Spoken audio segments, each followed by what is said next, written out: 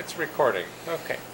Uh, welcome to the uh, uh, uh, the the, uh, uh, the CERIAS computer security seminar from Purdue University. Our speaker today is Professor Ian Goldberg from the University of, of, of Waterloo, and he will talk about Sphinx, a compact and provably secure mix format. Okay, Ian. Thank you very much. That's my seat. Okay, uh, this is joint work with George Danezis of Microsoft Research. And if you want more information about what I'm going to be talking about today, this was a paper in the IEEE uh, Symposium on Security and Privacy a few months ago. So I'm going to be talking about first mixed networks, what they are, then mixed formats, a particular aspect of mixed networks. I'll be talking about Sphinx in particular, the mixed format that we'll be presenting, do a brief outline of its proof of security, and then conclude. So first off, what is this mixed network thing? You may not have heard of it. So the idea of a mixed network is to enable a user, say Alice, to be able to send messages over the internet without automatically revealing her identity or her location. Okay? So, why might we want to do this? Well, this is good for a number of reasons. For example, people who want to discuss sensitive topics, something like uh, sexual assault survivors or uh, cancer survivors, support groups, stuff like that. Uh, whistleblowers who want to protect themselves against retaliation. So you're an employee at a company, you want to notify somebody that your company is leaking toxic waste into the river over here. Uh, you want to do that without your company finding out that you're talking to the Environmental Protection Agency, for example.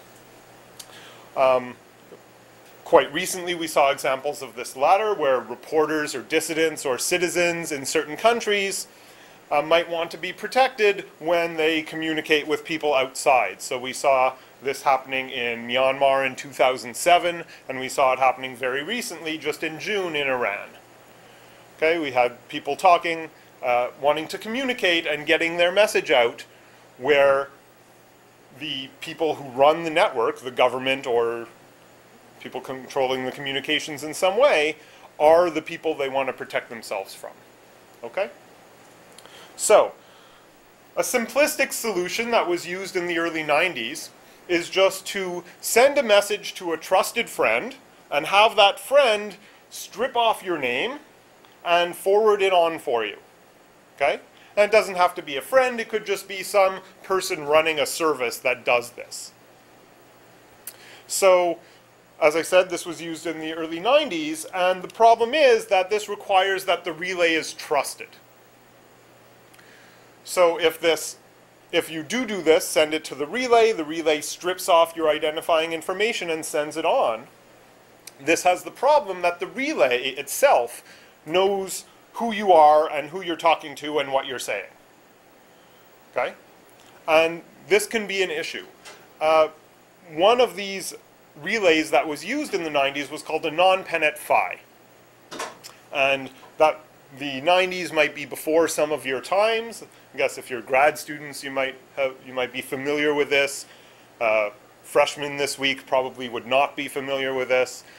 But what happened was, so anon.penet allowed you to send messages through it, and whenever I sent an email message through it, it would see my name, check a list, and if I'm not already in the list, it would add me to the list and assign me a random number ID, so a non-25549 at anon.penet.fi. Okay? And then it would send the message making it look like it came from a non-25549 at anon.penet.fi. That way, replies to the message would go to anon.penet.fi. A non-penet PHY would say, oh, this is a, a reply to a non-25549, looks up in the list, oh, it's Ian, and here's his real address, and it will send the reply to me. So anon.penet.fi had to maintain this list, this mapping, between real people, real email addresses, and they're anonymous pseudonyms. Okay, they're pseudonyms anon 25549, whatever. Okay? So what happened in the 90s was that somebody used anon.penet.fi to uh, send some uh, work from a certain church that will not be named, that you might know who it is, and uh, that church claims copyright over their, their scriptures. And anyone who posted those scriptures to the internet uh, kind of got in trouble. And so someone did it anonymously, and they wanted to find out who it is, who it was. So they sued Johan Helsingius, the operator of anon.penet.fi, and in court tried to get him to turn over this list. And Johan luckily managed to prevent the turning over of the entire list, but could not prevent the turning over of just the two addresses in question. Okay, so he had to turn over uh, part of this list. And then he just shut down his service because he said, if I can't protect my users against an attack like filing a lawsuit, then I'm not going to run the service because I can't, in good conscience, run the service when I know my users could be outed very easily. As it happens, the users of this service in this particular case were a little bit clever and the addresses that were turned over were just addresses of other remailers. So in fact, uh, this idea of using multiple remailers is a good solution to this problem. So instead of sending the message just through one relay, we send it through a whole path of relays. Okay? And this alleviates not only the trust problem, but also other network issues like load balancing. So not all messages in, all over the internet are going through this one central point. Right? So, let's look at a, a picture of how mixed networks work. So here we have a picture of Alice and Bob. And these swirly things in the middle are meant to represent mixed nodes. So there are a number of mixed nodes, which are servers spread throughout the internet. Alice wants to send a message to Bob without revealing to Bob her identity or her location. So what Alice does is she picks a, a number of mixed nodes to form what's called a path. Okay, in this case, Alice picks three mixed nodes that you may be able to see in yellow, but the arrows point them out. And then Alice constructs her mixed message. And her mixed message contains basically her message wrapped in a layer of encryption, wrapped in another layer of encryption, wrapped in another layer of encryption. Okay? And we're going to visually represent this encryption by envelopes, as is often done. So Alice ends up with this envelope, and inside this envelope is another envelope, and inside that envelope there's another envelope, and inside that there's the message. Okay? So Alice takes this envelope and sends it on to the first mix node. That mix node opens up the envelope and pulls out what's inside. It's another envelope, and that envelope is addressed, and that envelope is addressed to the next remailer. So it sends it on to the next one, who opens it up and finds another envelope, and that envelope is addressed to someone else, that being the next remailer. So it sends it on. That remailer opens up that envelope finds a plain message that is also addressed, and it's addressed to Bob, and it sends that message on to Bob. Okay? So that's how a mixed message at a high level gets from Alice to Bob. Now Bob, of course, just receives this message from Alice, sorry, from the last mix node, and doesn't know that it came from Alice.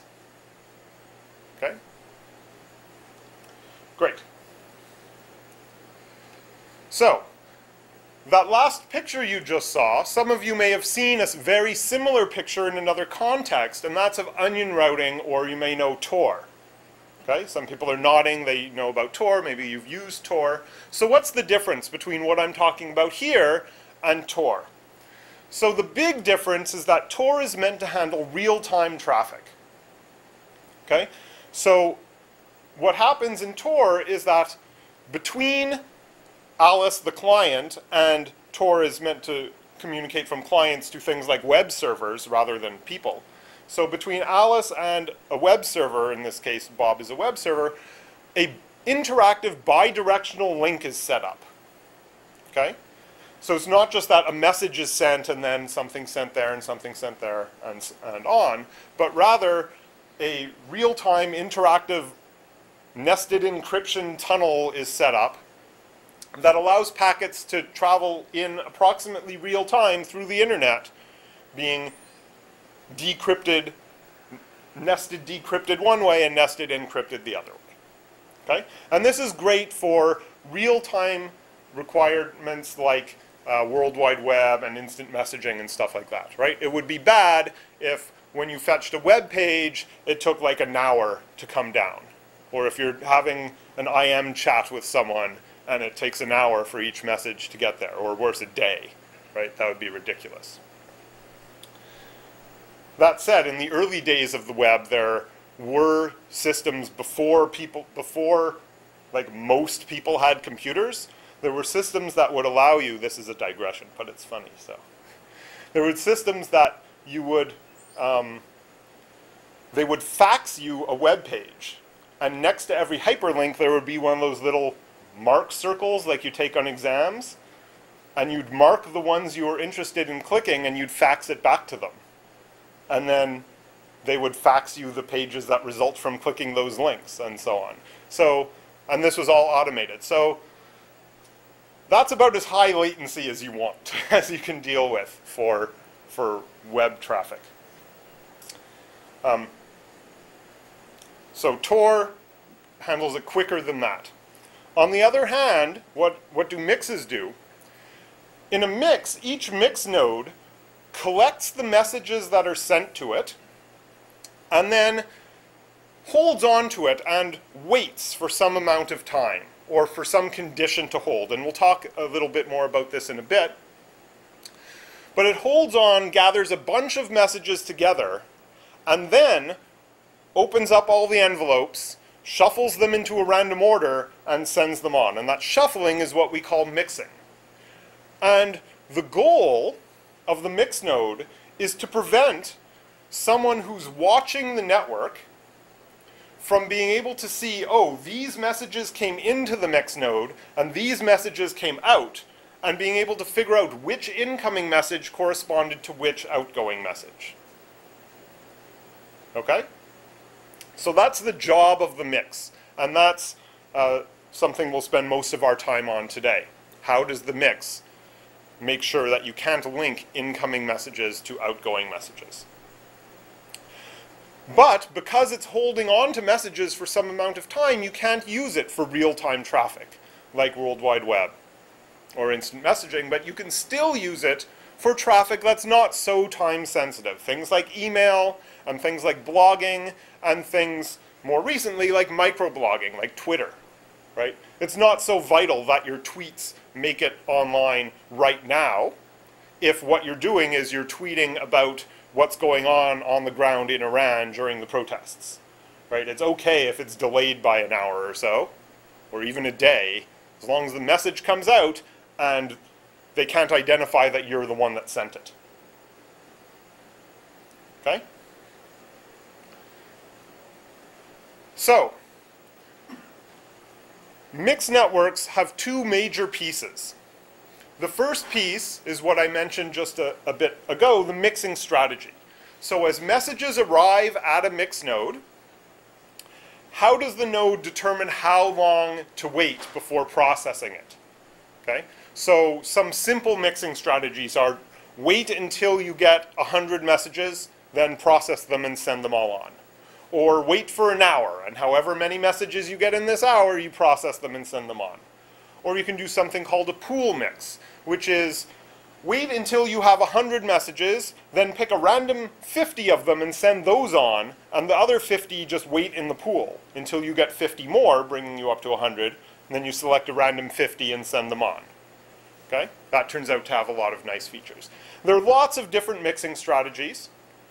Some of them allow the user to communicate some preference. For example, you might want to tag a message with, this message is uh, really, needs to be really secure, and I don't care if you hold on to it for extra time if you think it'll add security.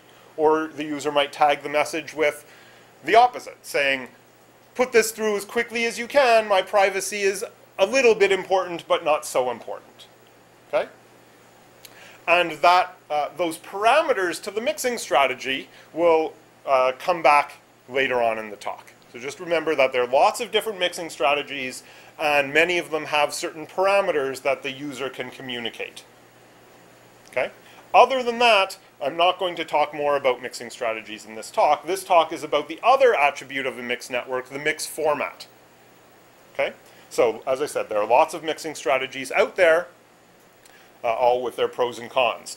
The other half is the mix format. The mix format is the sort of the byte level description of the mix message. Exactly what do you encrypt? Exactly what fields do you put in your message? How big is the message?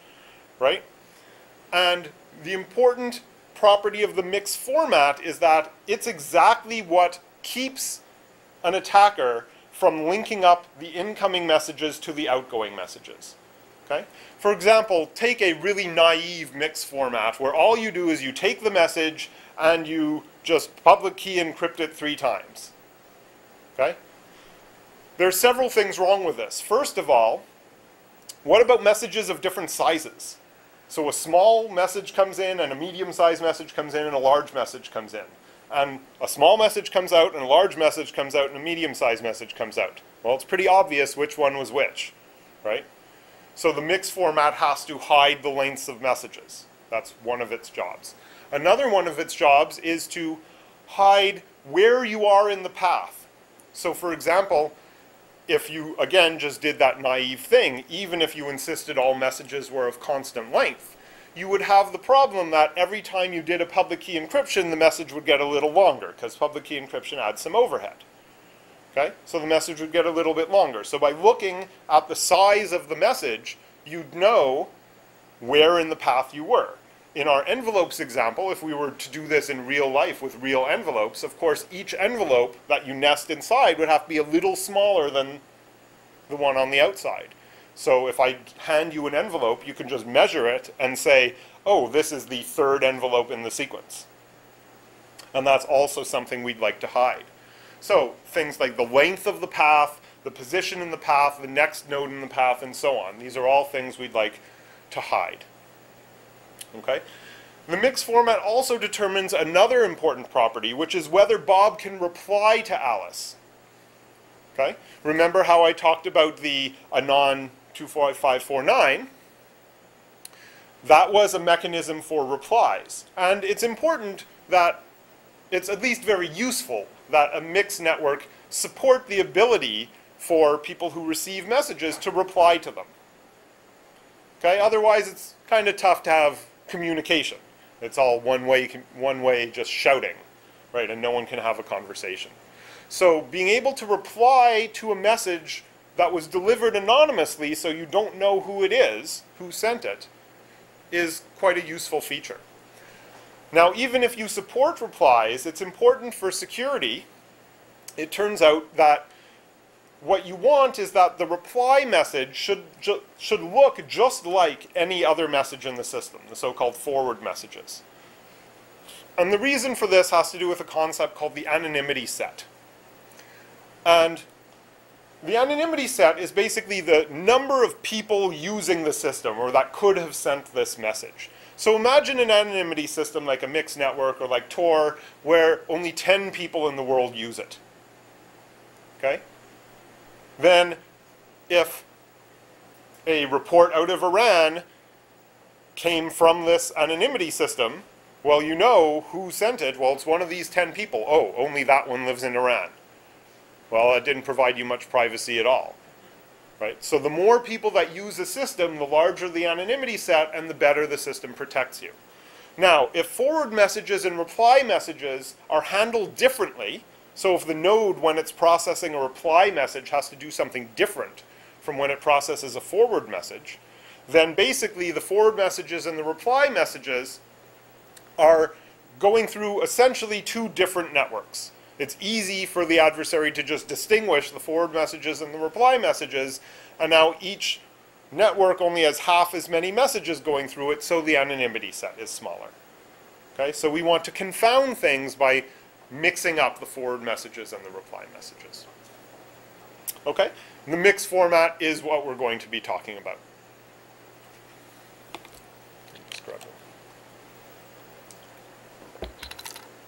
Great. So next I'm going to talk about a few uh, mix formats that exist. So Mixmaster from 1998, this is an established mix network. It's still out there and in use today. It didn't support replies, and it had what's called heuristic security. And what do I mean by that? Well, often when people design a security system, either a real life like locks and stuff like that, or a computer security system. The way they decide if it's secure is they take the thing and they take a hammer and they hit it with a hammer. Okay? This is metaphorical, of course, in the case of a computer security system, where our hammer are things like cryptanalysis or timing attacks or other things like this. You just take your favorite attack and you hit your new system with it and see if it breaks. And if it doesn't break, you say, okay, great. You take another hammer and you hit the thing with it and you see if it breaks now. No? Okay, I have 20 more hammers in the box and I keep just hitting it with hammers until it either breaks or it withstands all of my hammers. And if it withstands all of my hammers, I say, all right, sounds secure to me. Of course, it might not be. Someone might come up with a new hammer, a new type of attack, and hit it with the new hammer, and it might shatter to pieces. You never know. Okay? But this is how much of computer security, and in fact, live security, is done today. So this is called heuristic security. So, of course, this isn't, this doesn't give you the warm fuzzies, right? It's just you hit it with a bunch of hammers and it, you failed to break it. It's more your fault than its benefit, right? You're just not smart enough to break the system. So Muller in 03 and Camenisch and Sky in 05 separately came up with mix formats that had provable security. And what does that mean?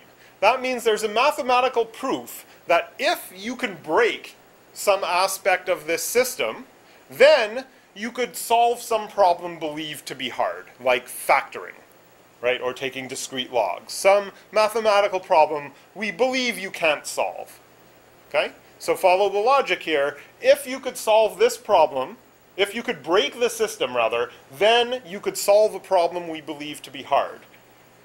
Okay? So if it really is hard, then the contrapositive, you can't break the system. Okay? So that's called provable security. And it's usually better to have one of these security proofs than to just hit things with hammers. Okay? So uh, we try to do that nowadays. Now, neither Muller or Camenisch and Lysyanskaya's system supported indistinguishable replies. So these were systems that were designed, uh, though neither of them was deployed, that uh, allowed you to send messages, but people couldn't reply to you. MixMinion in 2003 was the first to add support for indistinguishable uh, replies. MixMinion was the follow-up project to Mixmaster, and so it inherited its kind of milieu of heuristic security. But it did add the indistinguishable replies, which was really good. MixMinion is also de deployed and in use today. You can go out and use MixMinion right now if you want. Minx was the first to address another problem. It was the first attempt at a compact mix format. Okay? What do I mean by that? Well, all the, the overhead, the headers you have to do to route a message through this network, they have a certain size. Okay? And we'll see this a little later on. Often the size is in kilobytes. In some cases, in some schemes, it was in the tens of kilobytes. Okay? Which is not very good if your messages are really small. For email, where the messages might be a couple kilobytes, that's maybe okay. But now imagine you were sending tweets. Okay, Twitter messages, 140 byte limit. Do you really want to be sending a 140 byte message with a 2 kilobyte header? That doesn't make any sense. Okay? So Minx was the first attempt at a compact mix format where the size of the overhead was very small. It supported indistinguishable replies, and it was one of these heuristic security things. Unfortunately, it turned out to be broken security. Okay? So, what happened was someone hit it with a different hammer, and it shattered to pieces. Okay? Those people then, it was Shimshock, Staats, and Hopper in 08, those people then provided a provably secure fix. So they provided a new version that was kind of similar to Minx, but different in a lot of ways, but it had a proof of security. Unfortunately, which is great, and it still supported indistinguishable replies, but it had this downside, which is very expensive to construct the mixed messages in the first place. And why is that? Remember what I said about, about the user wanting to communicate information to each mix, right? That might be uh, parameters to the mixing strategy, but for sure it will be the identity of the next mix. Who should I send this message on to? Okay? So there's some amount of information that the user Alice has to share secretly with each mix. In the, this SSH 08 protocol, the only way that Alice could share information with a mix is for a cryptographic hash of the data to happen to contain the information she wanted to convey. So if she wanted to convey, say, an address, like an IP address, 32 bits, she would have to create mix messages until one of them happened to hash to that address. And of course, that would take 2 to the 32 time, 4 billion tries, which is crazy. So what SSH 08 said in their paper is that, okay, we're going to say that the only information Alice is allowed to convey is the identity of the next hop, and we're going to say there are at most 255 different mix nodes. And we just store their addresses in a table, and then Alice just has to convey 8 bits of information. Okay? So they get around this expensive to construct mix messages by just saying we're allowed to convey only 8 bits of data per hop. So it still takes 2 to the 8 work, right, times 3, or however long your, your path is, so times r. But that's not so bad. It's still kind of annoying, okay, and we'd like to do better. So Sphinx, this work, takes the best features of all of them. It has provable security, supports indistinguishable replies, it's compact, and it's computationally cheap. Okay? So that's where we're going here.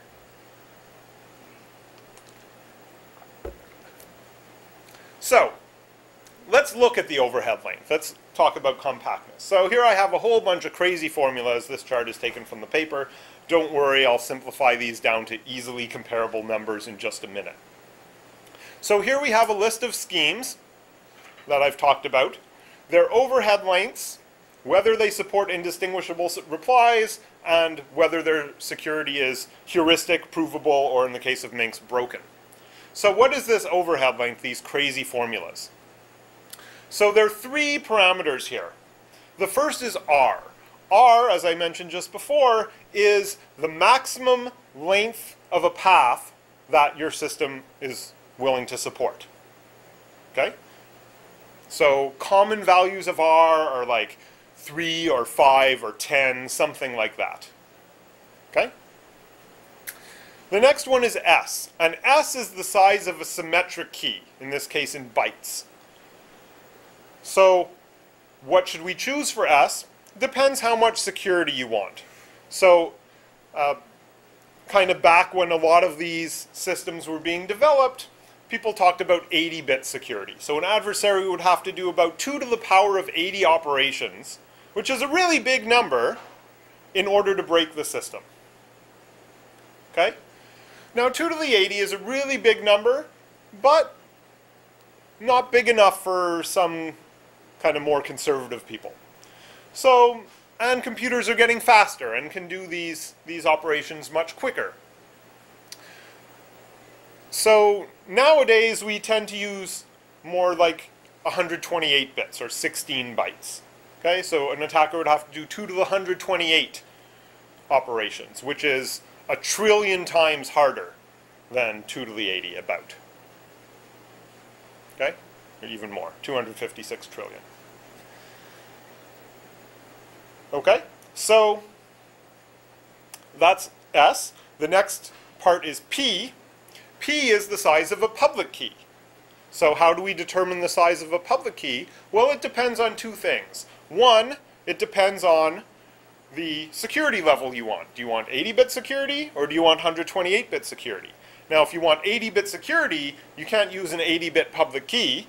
Reasons if you've studied cryptography, you probably understand. So for 80-bit security, you might use a 1000-bit public key if you're using RSA or something like that. The other aspect of the choice of P is exactly what public key system you're using. If you're using something like RSA or Elgamal or Diffie-Hellman, your keys are this big. If you're using something like elliptic curves, your keys are much smaller for the same security. Okay? So that's a benefit of using something like elliptic curves. So I'll give you a couple different uh, parameter selections so you can see how the systems compare. So first, I'll use the kind of traditional numbers mod n, right? Zn star kind of system. So we're talking about RSA or we're talking about Elgamal or Diffie-Hellman in numbers mod some other big number. So here I've chosen r equals 5, s equals 16, again 16 bytes is 128 bits, so we're talking about the stronger level of security here. I'm talking about p equals 256. Okay, 256 bytes is 2048 bits. And we're going to say that a 2048-bit public key is about the same strength as a 128-bit private key. Now, it turns out that's not true. A 128-bit private key is more like a 3000-bit public key, but we're underplaying it here because underplaying it gives an advantage to the other schemes and a disadvantage to ours. So we're being conservative here, okay? And you see, even with that conservative choice of parameter, we still, so Sphinx's overhead is now 448 bytes. It's still quite a bit smaller than any of the others except for Minx, which of course has broken security, so it doesn't really count, right? It's easy to design a really small overhead system that is insecure. Okay, we don't want to use that one. Okay, let's look at another choice of parameters. Here we're going to use elliptic curve cryptography. Again, we're going to use r equals 5 and s equals 16. And now the, size, the appropriate size of a public key is 32 bytes, okay, or 256 bits. And that's uh, quite accurate for 128-bit symmetric key strength. Okay, and here you see Sphinx is smaller than all of the choices except for SSH-08, but SSH-08 has this problem of constructing messages being very expensive. Okay? So we're a little bit bigger than SSH-08, but we don't have this expensive construction problem. If we choose other sets of parameters, such as uh, if we use 80-bit security and r equals 3, we can actually get the overhead of Sphinx down to exactly 100 bytes. And now it's not only comparable to the size of a tweet, it's smaller. So now you might imagine putting the mix header inside the tweet. So you could use Twitter as your communications mechanism for your mix system. And that's an interesting thing that I and my group will be exploring hopefully soon. Of course, the problem there is that your message size is now only 40 bytes. And that's a little small even for tweets, right? So more work needs to be done to see if we can squeeze even a few more bytes out of this header and get it a little bit smaller. But in any case, we're down to something in a reasonable size now. Even for this high security system where we have 224 bytes, that's comparable to the size of a, a tweet, 140 bytes. It's not like the kilobytes that we saw on the previous slide here, right? Okay, so what actually is the Sphinx message format that I've been talking so much about? Here's where the Greek letters show up. So a Sphinx message consists of four parts. The header is alpha, beta, and gamma, and the body or the payload is delta. Alpha is an element of a public key group G. And what is this group G? It's any group satisfying a particular assumption called decisional Diffie-Hellman. And this is just a kind of standard mathematical assumption that we make. It's one of these assumptions like factoring is hard. Okay, it's, it's not that one, but it's a similar one that all of cryptography relies on certain problems being hard. And unfortunately, we don't know how to prove that those problems are hard for the most part, so we just make assumptions that we presume that it's not the case that everyone is insane and these problems really are hard. So this is the problem, decisional Diffie-Hellman. So what kinds of groups are we talking about? So in our implementation, which is written in Python, we have an implementation of uh, a choice of group. You can either use uh, ZP star for 2048-bit prime P, or you can use Dan Bernstein's elliptic curve implementation called curve 25519. A nice advantage of the latter is that, as we said before, when using elliptic curves, alpha can be just 32 bytes, okay, which is pretty short. And an important point is that there's only one alpha no matter how many hops there are. Okay? And we'll get back to that in a minute because that's a really important property of Sphinx. Okay, then beta, so that's alpha. Beta are the nested routing instructions. Okay, so the it's the addresses written on the envelopes wrapped in the other envelopes wrapped in the other envelopes. Okay? And so it has both the uh, identity of the next hop, the address of the next hop, and any of these parameters Alice might wish to communicate to the nodes as part of the mixing strategy. Okay, gamma is then a MAC of beta. MAC is a message authentication code. It's basically a secure cryptographic checksum to make sure that nothing has been modified in transit by an attacker. Okay, you probably know about MACs. And then delta is the multiply encrypted message payload. So it's the actual message encrypted, encrypted again, encrypted again, encrypted again, and each mix node will remove one layer of encryption. Okay? So, how do we set up the system? We give each node a public-private key pair, and the way we do this is just the kind of standard way we do it for a system like El-Gamal. Every node picks a random uh, secret key called X, or XN, for node N, and its public key is just G to the power of Xn, where G is a generator of the, of the group G, capital G, okay? And we call that Yn.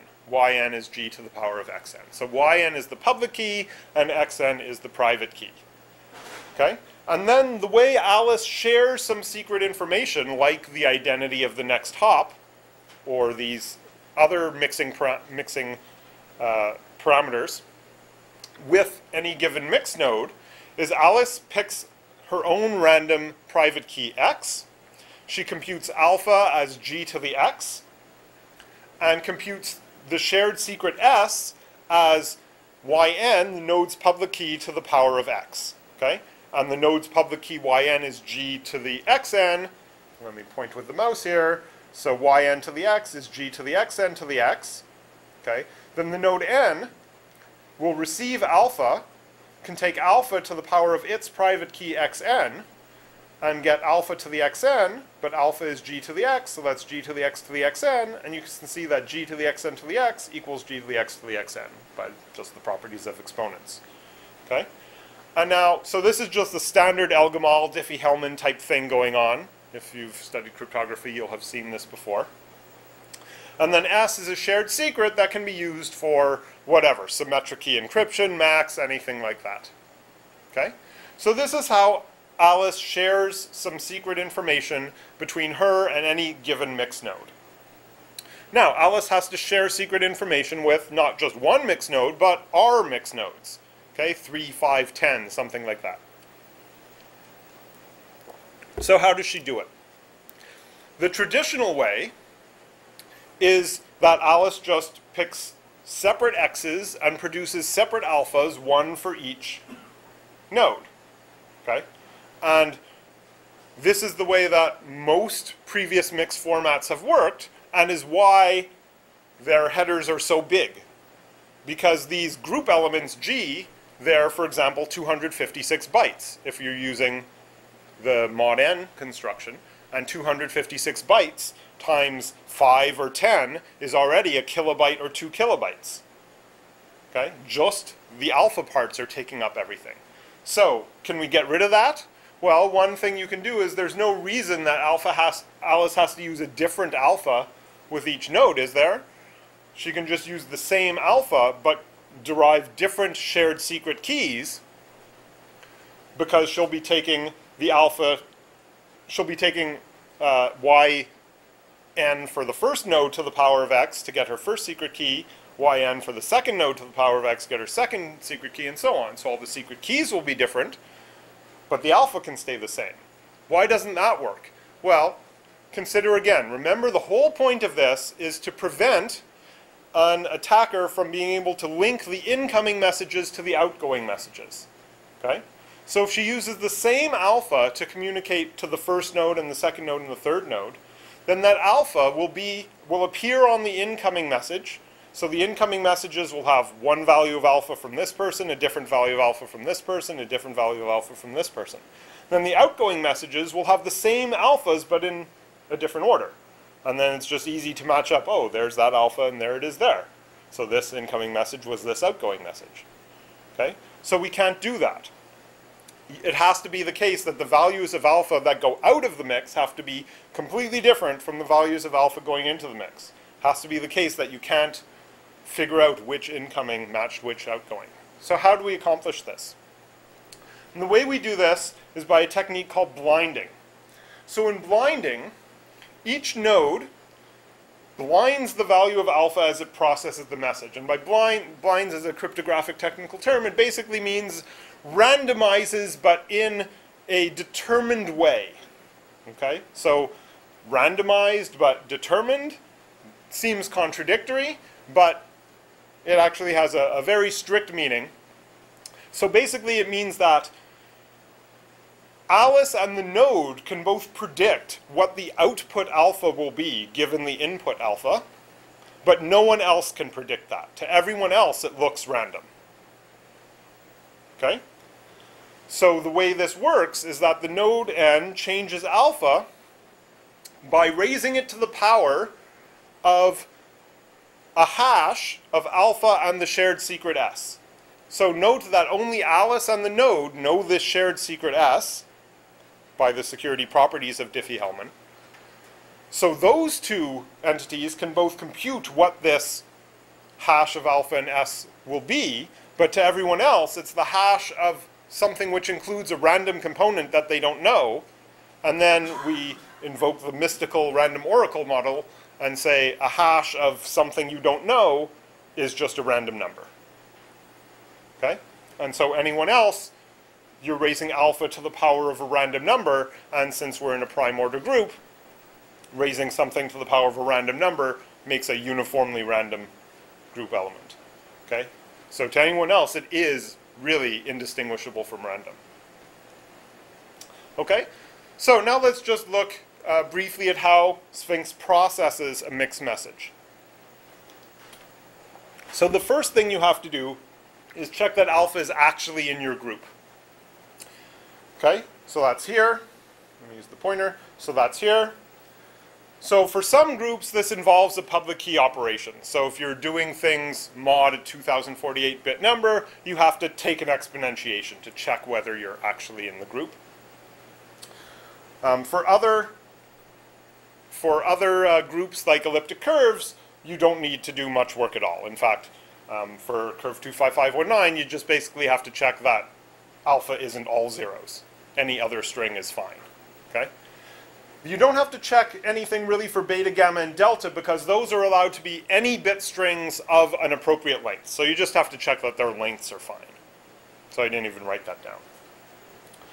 The next step is to compute the shared secret. So you have alpha, you have you being the mix, have your own secret key xn here, and you take alpha to the power of xn to get your shared secret s. Okay, your shared secret s is then used in this MAC. Remember, there's a cryptographic hash, and the cryptographic part is that it uses this secret, S, to check that this gamma is really a MAC of beta. Okay? And if it is, that means no one has messed with the header. Okay, we'll talk about how to handle the payload in just a bit. Assuming no one's messed with the header, you can then process it. So now you have to decrypt the header but you have to do it in such a way that the size of the header coming in matches the size of the header going out. And this is a little tricky because decryption necessarily removes some information, right? And Necessarily, we're going to have some information in there like the size of the node, like the next MAC and stuff like that. And that necessarily removes some information. So how is it we're going to get this header to be the same size after as it is now? And the way, back to the picture here, is that we take the beta and we stick some extra zeros at the end. And with the parameters I was talking about, you stick 32 bytes of zeros, basically double the security parameter. And then you decrypt it, and you decrypt it with your favorite stream cipher. Okay, in our implementation, we used AES in counter mode. That's a lot of people's favorite stream cipher nowadays. Could use RC4. That was people's favorite stream cipher several years ago. Whatever you like. As I said, we use AES in counter mode, which is just you take your message and you XOR it with the encryption stream and you get some result. Then you chop off the first bit and that's the node and prime is the address of the next node to send it to. If there were any other mixing parameters, that's where you would stick them. The next bit is gamma prime, that's the next MAC, and then the last bit is beta prime. Okay? So we extract those values. The next thing is you blind alpha here, like I said before, to get alpha prime. And then you have to get delta prime. The way you do that is you take S as your secret key and you decrypt the payload using S to get the next payload.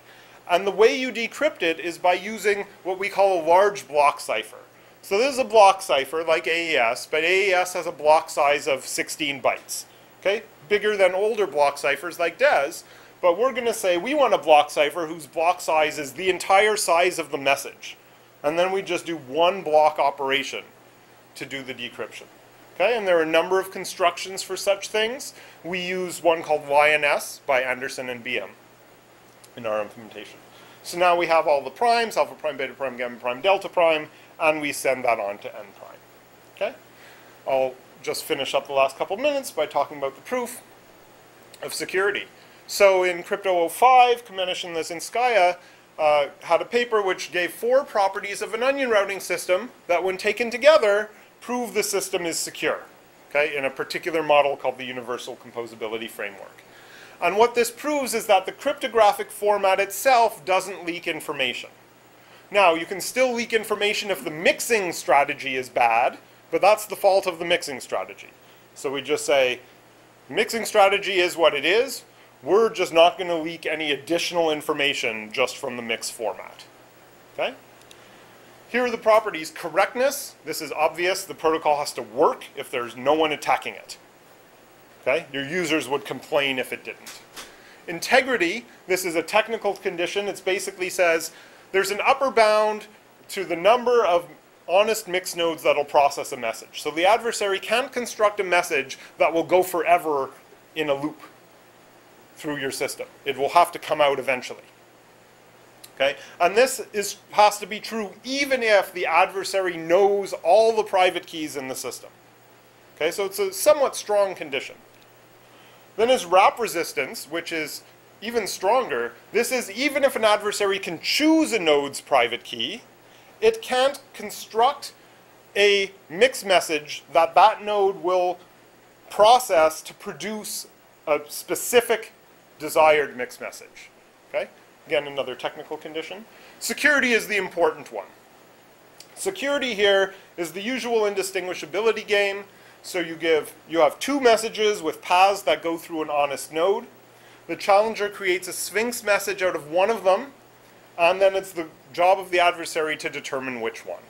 Okay? It's the usual kind of like IND-CPA game that we see in cryptography. Okay, so these are the four properties, and we prove that Sphinx has all these four properties. We also prove a fifth property, indistinguishability of replies. So what we do here is we take the security game, where the adversary can construct two different messages and paths through the network, but he can also, at his option, choose one of them to be a forward message and one of them to be a reply message. And then if I make this corresponding Sphinx message and hand it to you, and you can't even tell whether it's a forward message or a reply message, then clearly we have indistinguishability of replies. Okay? I won't go into proof details here, of course. I'm pretty much out of time, so see the paper. So just to wrap up, we've presented Sphinx, a new mix format. It has all the nice properties we want, provably secure, compact, supporting indistinguishable replies, and is computationally cheap. Thank you very much.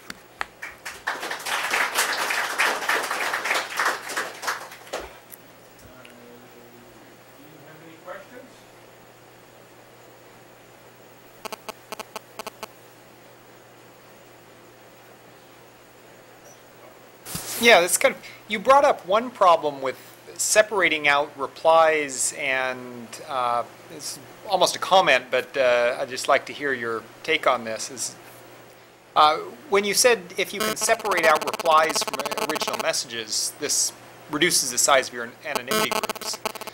But given that a reply is tied to a source message, this would imply that there's actually additional weakness coming out of it, possibly. That's a very good observation, and there's been uh, recent work over the last three or so years on exactly that issue. That even if replies are indistinguishable, you still might be able to gain some information just from the fact that if Alice sent a message to Bob, and then Bob sends a message shortly thereafter, it has a higher than average chance of going to Alice. Right? And so, yes, there is additional information that comes from traffic analysis at a higher level.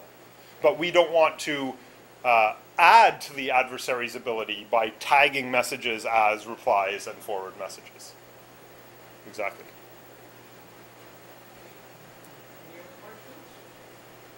Mike, push your button. Oh, yeah, button. On the, on the front, yeah. Uh, my question is, how far do you think this from like deployment? How far is it from From deployment? deployment, I mean, we what, what the main impediment to Of course. full, full deployment? Yeah, so we have an implementation, and we designed our implementation so that it will plug right into Mixminion, which, as I said, is a deployed network. So all we need to do, in kind of little scare bunny quotes here, is get that uh, get that uh, implementation together, and then convince the Mixminion people to basically upgrade to Sphinx. How easy that will be remains to be seen. Luckily, we know the Mixminion people; they're good friends of ours, so uh, we'll see how that goes.